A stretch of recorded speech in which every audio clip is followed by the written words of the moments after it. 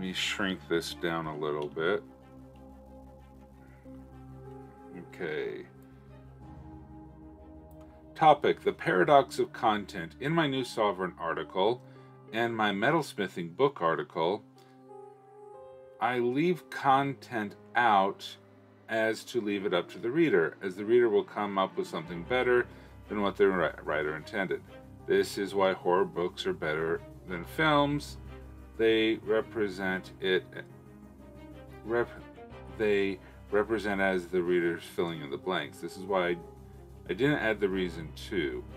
Who came up with the plan in my metas, metalsmithing article? How should I address this paradox?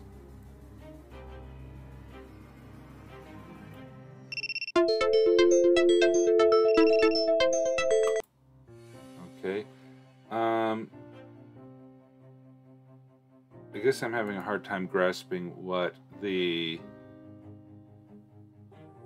Oh, Usuji, you saw the stream link in Twitch Writer Network. Wonderful.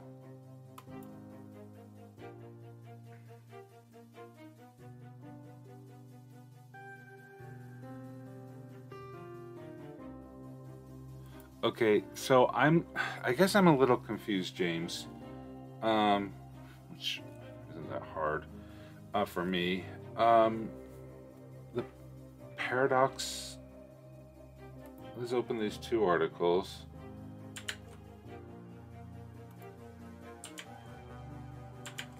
Okay, we have this in. Okay, we I think we've reviewed this one before. Yeah. And we have this. The whole, yeah. Oh, you're writing, you're typing in as quick as you can? Okay.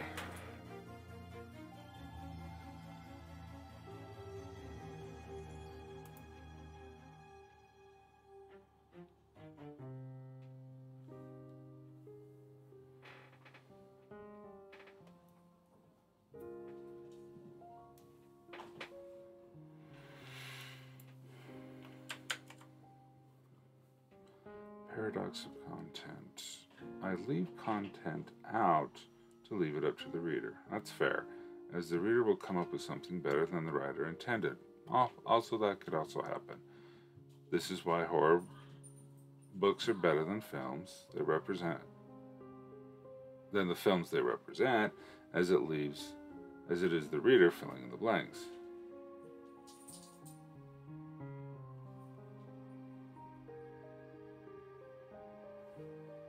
This is why I didn't add the reason to. Should I write prose on why no one knows who the head of the coin is, but doing so will kill the, imaginary oh imaginary of the reader. But some people would like would like that is would be like that is worse than what I thought. Okay.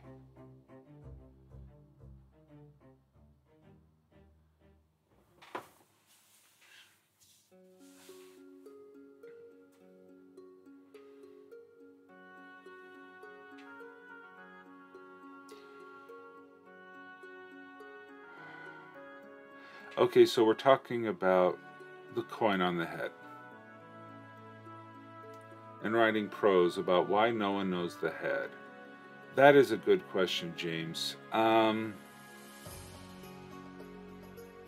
well, see, that could be a whole mystery or a whole short story or even a novel on why it became forgotten.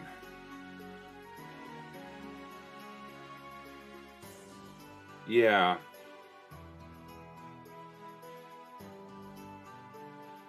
Well, I think, okay, when faced with this paradox, I believe that that is ultimately your decision to make on whether you fill in this information or you don't. Because it it is your world and we can talk about the pros and cons between the two things. I forgot to add the stream marker. All right, there I added the stream marker talking about the paradox of whether we add information and explain something or leaving it up to the user's imagination.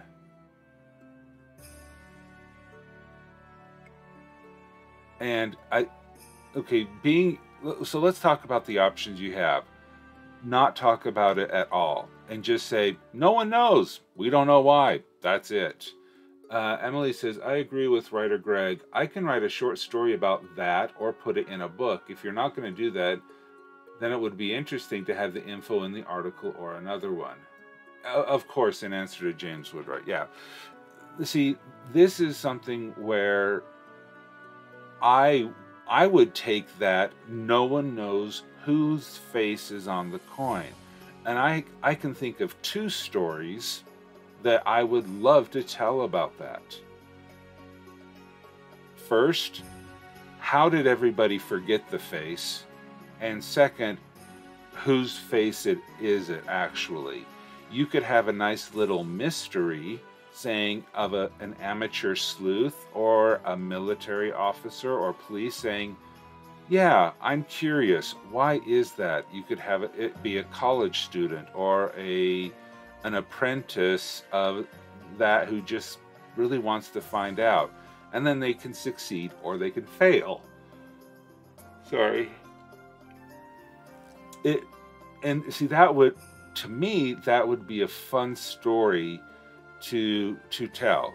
If you don't want to write that kind of a story, that's your your choice, but then you can explain it in a couple of paragraphs in the article explaining the mystery of the man on the coin.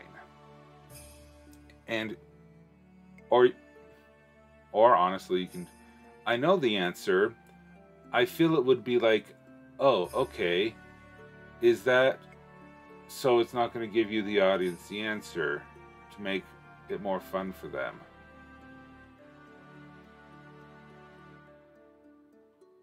I feel like it would be, oh, oh okay.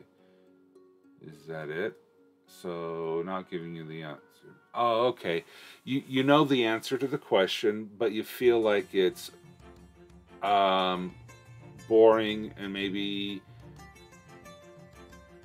you would rather not give the audience the answer because it's more fun not knowing.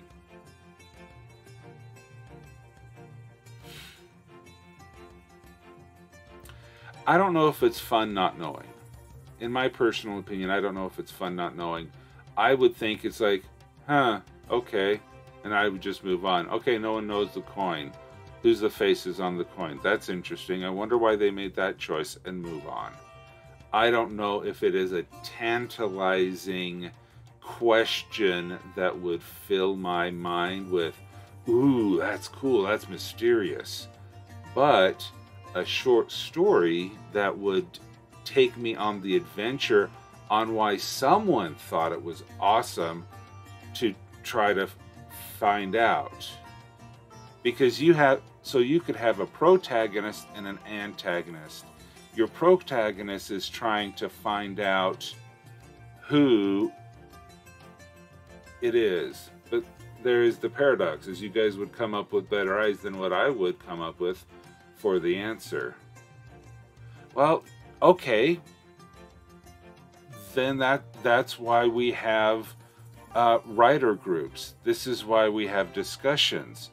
You you could come up, James, with five or ten different ideas.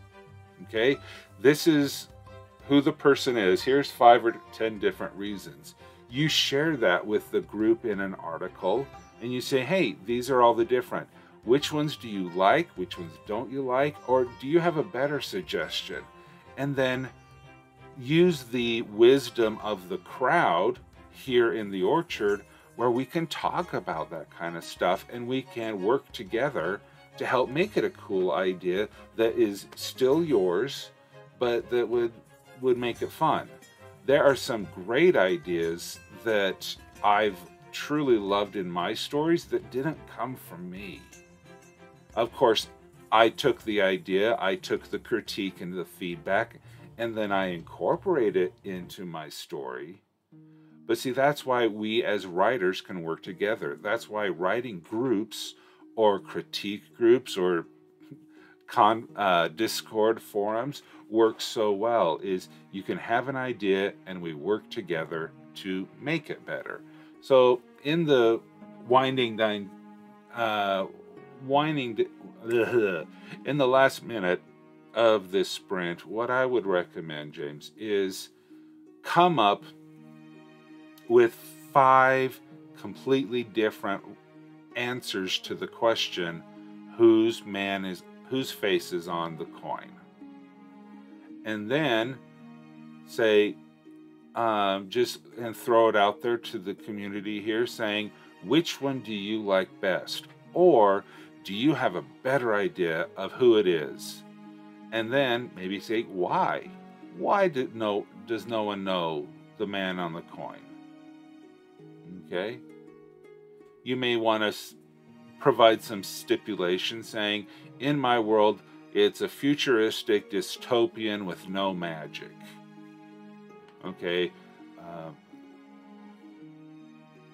you know, this is not a fantasy article. This is just straight dystopian fiction. And then see how it goes.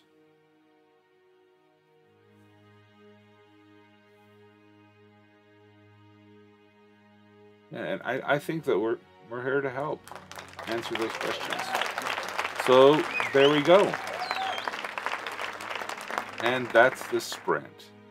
Best of luck, James, and hope that some of that information was helpful.